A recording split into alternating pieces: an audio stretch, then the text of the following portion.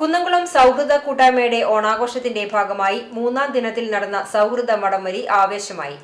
മഹാത്മാഗാന്ധി വാണിജ്യ കേന്ദ്രത്തിന് സമീപത്തു നിന്നും ചെണ്ടമേളത്തിന്റെ അകമ്പടിയോടെയാണ് വടം എത്തിച്ചത്. മത്സരത്തിൽ പുരുഷ വിഭാഗത്തിൽ നഗരസഭാ കൌൺസിലർമാരെ പരാജയപ്പെടുത്തി ചേംബർ ഓഫ് കൊമേഴ്സും വനിതാ വിഭാഗത്തിൽ കുടുംബശ്രീയെ തോൽപ്പിച്ച് വനിതാ കൌൺസിലർമാരും വിജയികളായി.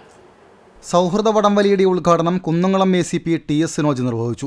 നഗരസഭാ വൈസ് ചെയർപേഴ്സൺ സൗമ്യ അനിലൻ അധ്യക്ഷയായി. നഗരസഭാ വികസനകാര്യ സ്ഥിരം സമിതി chairman P M Suresh chamber of commerce president K P Saxon സൗഹൃദ കൂട്ടായ്മ general convener Jose Maliyakkal M Bijupal എന്നിവർ സംസാരിച്ചു. നഗരത്തിലെ പ്രധാന ക്ലബ്ബുകൾ പോലീസ് ഫയർഫോഴ്സ് നഗരസഭാ കൗൺസിലർമാർ പ്രസ് ക്ലബ് അംഗങ്ങൾ ചേംബർ യൂത്ത് വിംഗ് തുടങ്ങിയ ടീമുകൾ സൗഹൃദ വടംവലിയിൽ മാറ്റുരച്ചു.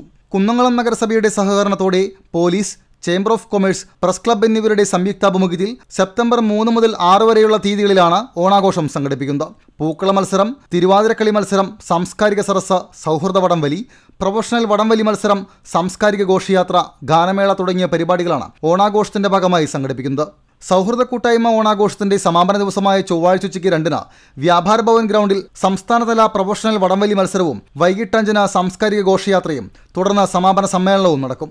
സമാപന സമ്മേളനം A C Moideen M L A ഉദ്ഘാടനം ചെയ്യും. പിന്നണി ഗായകരും റിയാലിറ്റി ഷോ താരങ്ങളും പങ്കെടുക്കുന്ന ഗാനമേളയോടെ നാല് ദിവസം നീണ്ടു നിൽക്കുന്ന ഓണാഘോഷത്തിന് സമാപനമാകും.